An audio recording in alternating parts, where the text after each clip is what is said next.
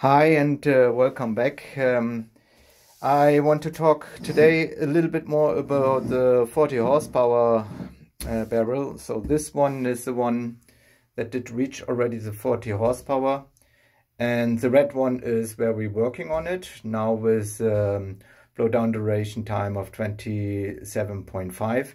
So but what makes a out of a box 20 22 uh, horsepower uh, uh, horsepower barrel up to uh, 35 horsepower. Already i uh, make a documentation with all the dynos but 40 horsepower how we do it. So i'm working with port mapping. I'm working with calculation programs that gives me a, a shape.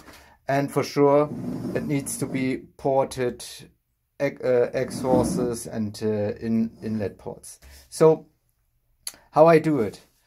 Uh, I'm making a normal uh, port diagram from the barrel when it is delivered. So for this one, uh, especially you saw that here maybe was a very unrounded uh, shape of the exhaust, but you don't have to take care if you just want to build a 30 horsepower or whatever. And then you have to look at it. And depending on the stroke, you have to see what is my end goal. You may have even to change the exhaust port in a high. So, nevertheless, uh, before I changed here the duration blowdown time uh, to 27, with 25 we still had enough power to reach almost the 30 and even reach over the 30 horsepower. So it's not necessary important to make a porting on the exhaust port. The other stuff that you can see here is normally from the drawing, but you see maybe here the paper before, how I make then the shape and the shape transfer. And that is maybe interested to see. Uh, so if you're already on uh, um, here on my YouTube channel, you can easily go to my web page and on the web page here there will be opening the, uh, the service page and if you go in the service page to samples um, you will see many best practice uh, that or some best practice.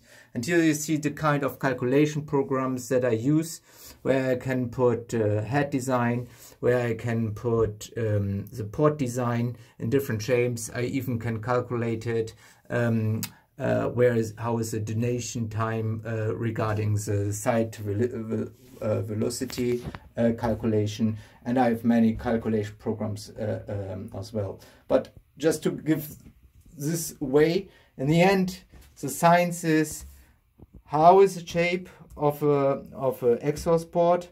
Uh, what for other changes maybe you have here to do?